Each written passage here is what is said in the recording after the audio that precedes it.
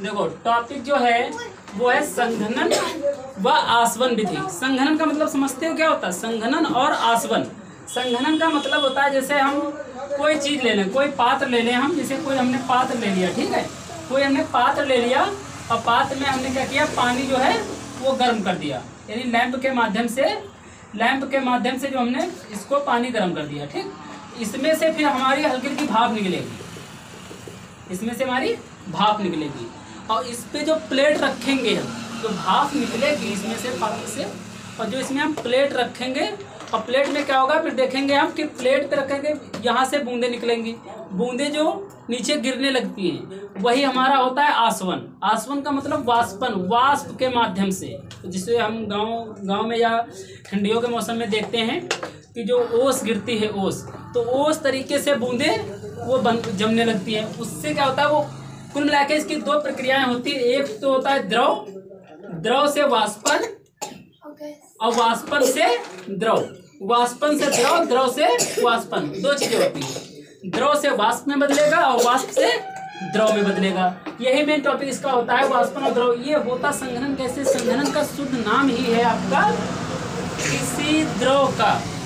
किसी संघनन का मतलब परिभाषा का संघनन की बात है संघनन की परिभाषा का मतलब है किसी द्रव को कि जब वाष्प में वो परिवर्तित होती है तो उसको हम क्या कहेंगे? कहते हैं। जैसे आपने पढ़ा होगा कि जब वर्षा होती है तो बादलों से हमें वर्षा महसूस होती है कि बादलों से वर्षा हो रही है। बादलों से वर्षा हो रही है।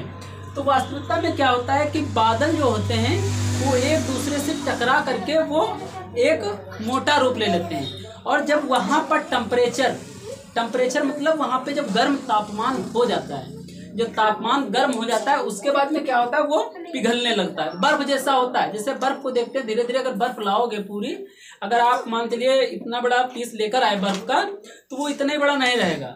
अगर उसको फ्रीजर से आप निकाल देंगे, उसके बाद में धीरे धीरे क्या होता, होगा वो? ठंडा हो हो करके गर्म होगा, उसमें से धुआँ भी निकलता, देखा होगा। तो बर्फ़ गर्म भी होती है। जो फ्रीजर से आप निकालोगे तो उसमें से बूंदों के माध्यम से वो नीचे बूंदों के माध्यम से नीचे गिरने लगेगा।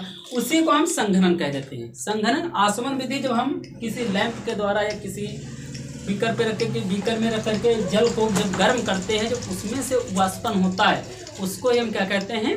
संघनन कहते हैं। तो ये उम्मीद करते हैं संघनन आसमन विधि आप लोगों को समझ आ गई होगी। संघनन का मतलब द्रव से वाष्प में बदलना, वाष्प से द्रव में बदलना क्या कहलाता है? संघनन कहलाता है। द्रव से वाष्प में और वाष्प से द्रव में बदलने की विधि को हम क्या कहते हैं? संघनन कहते हैं। जय हिंद।